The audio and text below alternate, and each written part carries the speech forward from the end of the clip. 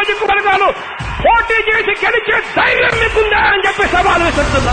పరదాలు లేకుండా ప్రజల ముందుకు రోడ్లపైకి వచ్చే దమ్ము నీకుందా?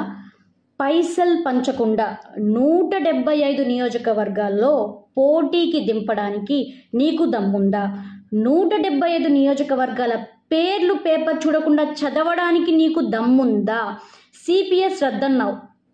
మరి చేయడానికి నీకు దమ్ముందా? పూర్తి మద్యపాన నిషేధం అన్నావు.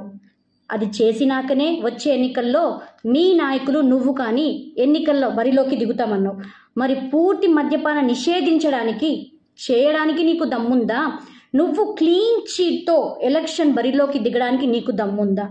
జాబ్ క్యాలెండర్ ప్రతి ఏడాది జనవరి మొదటి నెలన రిలీజ్ చేస్తానన్నావు. గత స- నాలుగు సంవత్సరాలు దాటినా వచ్చే ఏడాదైనా జాబ్ క్యాలెండర్ రిలీజ్ చేసే దమ్ము నీకుందా?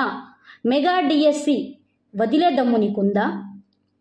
పోలీసులకు టీఏలు డిఏలు సరెండర్లు టైంకు ఇచ్చే దమ్ము రిలీజ్ చేసే దమ్ము నీకుందా? గవర్నమెంట్ ఉద్యోగులకు కరెక్ట్గా శాలరీలు ఇచ్చే దమ్ము నీకుందా? స్పెషల్ కేటగిరీ స్టేటస్ మెడలు వంచి తలలు వంచి తెస్తానన్న స్పెషల్ కేటగిరీస్ స్టేటస్ తీసుకొచ్చే దమ్ము నీకుందా? వైజాగ్ స్టీల్ ప్లాంట్ ప్రైవేటైజేషన్ చేయకుండా ఆపడం ఆపగలిగే దమ్ము నీకుందా?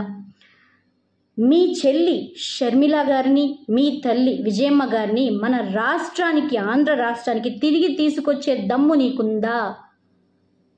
మీ చెల్లి సునీత గారిని ఆమె పోరాడుతున్న న్యాయం కోసం ఆ న్యాయం జరిగేలాగా నువ్వు చేయగలవా? నీకు దమ్ముందా? నూ why not one seventy five one seventy five అంటున్నావు? నూట డెబ్బై ఐదుకు నూట డెబ్బై ఐదు అంటున్నావు. మరి మిగతా వాళ్ళు ఎలా వస్తే నీకేం సింహం సింగిల్గా వస్తుంది కదా? మరి ఎంతమంది ఎన్ ఎలా కలిసి వస్తే నీకేం ఎలా పోటీ చేస్తే నీకేం ఎక్కడ పోటీ చేస్తే నీకేం ఎన్ని స్థానాల్లో పోటీ చేస్తే నీకెందుకు? భయపడుతున్నట్లున్నావు. అలాగే భయం మెయింటైన్ చే జగన్ రెడ్డి. ఇంకా ముందు ముందు ముందు ముందు చాలా చాలా భయపెట్టబోతున్నాం. జర జాగ్రత్త.